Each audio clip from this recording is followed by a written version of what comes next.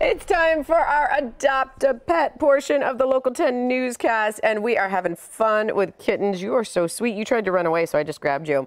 Sherry Wachter is here from the Humane Society of Broward County. You didn't give us one, two, you gave us three little bundles of fur here today. Yeah, I couldn't decide, and I couldn't leave one behind, so I'm No. like, come on, everybody, let's go. Yes, I love it. And tell us, I, mine right here is Bumble. Who do you have? You have Bumble. This is her, his sister B, and this is Andrina. Oh, this is quite the interesting names. Yes. I, I love it. All right, so these uh, munchkins are ready to go to a new home, and they're they're curious, they're fun, they're exactly what you. Oh, that one's taken off on us.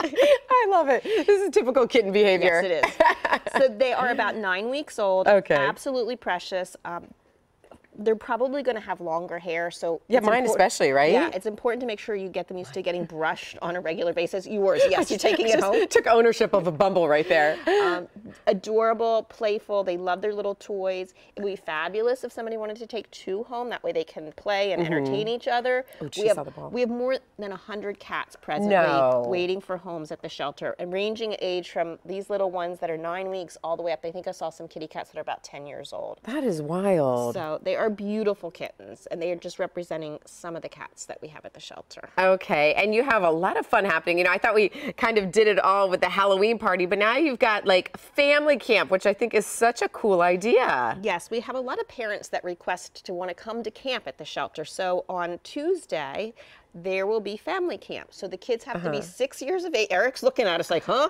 Uh, six years of age and older.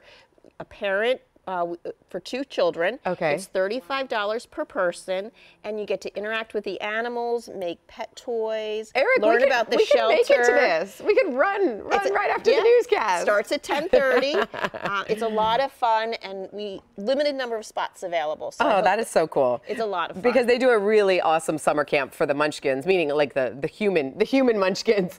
So this is great that you're incorporating the whole family. I love it. And uh, as always, we've got um, dogs, we've got cats, we've got do we have guinea pigs right now? we have bunnies. We have guinea pigs, and we do have bunny rabbits. Uh, Charlie is one cute bunny rabbit who's looking for a forever family. Sadly, he was given up because his family is traveling too much.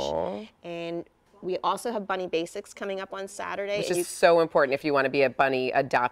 Adopter. Yes, uh, you can learn all about how to bond your bunny, litter box training, creative housing, and that is via Zoom. So you can go to the website sign up for that. humanebroward.com to register.